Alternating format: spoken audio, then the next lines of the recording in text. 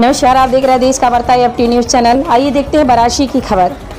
लोता थाना क्षेत्र के केरापुर गाँव में अखिलेश नामक युवक ने प्लम्बर का काम करने वाले युवक को बीच सड़क पर गोली मार दी। गोली लगते ही लहूलुहान होकर गिरे युवक को।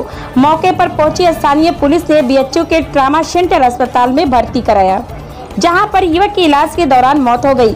मौत की सूचना मिलते ही ग्रामीणों ने राजकीय राजमार्ग एनएच सतासी को चक्का जाम कर दिया। घटना स्थल पर पहुँचे एसपी बनारस ने ग्रामीण के साथ घटना स्थल पर जाकर जायजा लिया और आसपास में लगे सीसीटीवी फुटेज और अन्य लोगों से पूछताछ शुरू कर दिया। प्रारंभिक तौर पर गाँव के ही एक युवक को हिरासत में लेकर आगे की कार्रवाई के लिए थाने भेज दिया गया। मीडिया से बात करते हुए एसपी योग ग्रामीणों ने बताया कि प्रथम दृष्टिया मामला आपसी विवाद का है, जिसमें युवक को गोली मार दी गई। घटना की तफ्तीश के लिए पुलिस के साथ साथ क्राइम ब्रांच की टीम को भी लगाया जा चुका है प्रमोद सिंह क्या है आप यहाँ के प्र- हमारी पत्नी प्रधान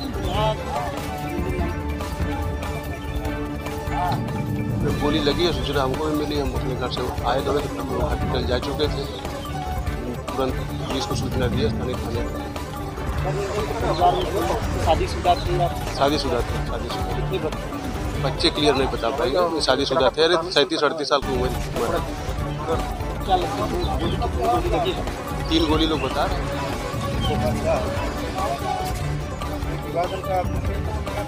नहीं, हमारे संज्ञान में कोई विवाद नहीं ये कन्हैया प्रजापति हैं, ये सुबह प्लम्बर का काम प्लम्बर और राजगिरी का काम करते हैं। सुबह अपने कराकतपुर गाँव से निकले थे, लगभग साढ़े नौ, पौने दस बजे करीब।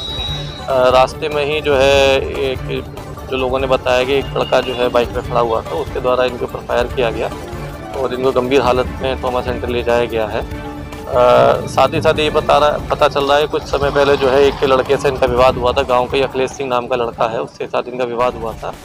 उसी का नाम भी जो है कुछ आ रहा है और जल्दी उसका हम लोगों ने टीमें लगा दी जल्दी उसकी गिरफ्तारी करेंगे और जल्दी केस को वर्कआउट किया जाएगा। अच्छा सर कोई अपडेट अभी ख्याल की अब देखिए अभी वो ट्रॉमा सेंटर लेके गए वहाँ ट्रॉमा सेंटर डॉक्टर को बताएँगे लेकिन खून काफ़ी बह गया है तो अभी कुछ कहा नहीं जा सकता लेकिन जल्दी से जल्दी जो है उस डॉक्टर जो भी होगा ट्रॉमा सेंटर लेके गए और हम लोगों ने टीमें लगा दी हमारी क्राइम ब्रांच भी लगी हुई जल्दी लड़की की गिरफ्तारी होगी जो अखिलेश का लड़का जिसका नाम आ रहा है अभी प्रारंभ। मौके से कोई खोखा वगैरह या कितनी गोलियाँ? मौके से वो है अभी दो दो तीन गोली चलने की बात है और बाकी डिटेल जो है क्योंकि अभी थोड़ी देर पहले की घटना है बाकी डिटेल आगे इसमें बताएँगे।